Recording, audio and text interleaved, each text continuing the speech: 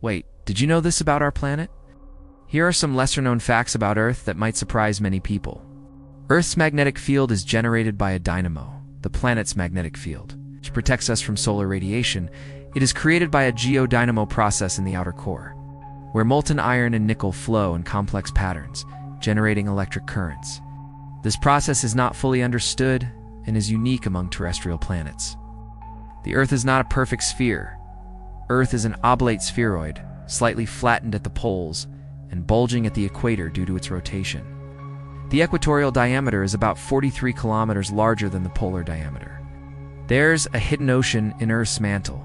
Scientists have found evidence of a vast reservoir of water trapped in minerals like ringwoodite 400 to 700 kilometers.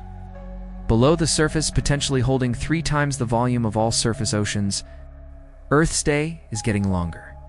Due to tidal interactions with the moon, Earth's rotation is slowing down, making days longer by about 1.7 milliseconds per century. Billions of years ago, a day was much shorter, around six hours. The Sahara Desert was once lush and green, about 10,000 to 5,000 years ago. The Sahara was a fertile region with lakes, rivers, and vegetation, supporting human and animal life before climate shifts turned it arid. Earth has a second moon, sort of. Small asteroids, called quasi-moons or mini-moons. Like 2016 HO3, occasionally orbit Earth for a while before drifting away. They're not true moons, but act like temporary companions. The deepest point on land is under ice, the deepest known point on Earth's land surface is the Denman Glacier in Antarctica, reaching 3,500 meters below sea level, hidden beneath thick ice. Earth's atmosphere extends beyond the moon, the outermost layer of Earth's atmosphere. The geocorona, a cloud of hydrogen atoms, extends up to 630,000 kilometers, far beyond the moon's orbit, though it's extremely thin.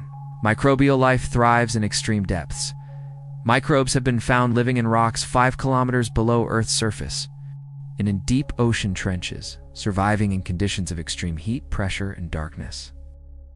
Earth's oldest material is older than the solar system. Tiny grains in some meteorites found on Earth, called presolar grains, date back over 7 billion years. Predating the Sun and Earth by billions of years, formed in ancient stars. And if you like these facts, make sure to check out our other videos like, comment, and follow for more.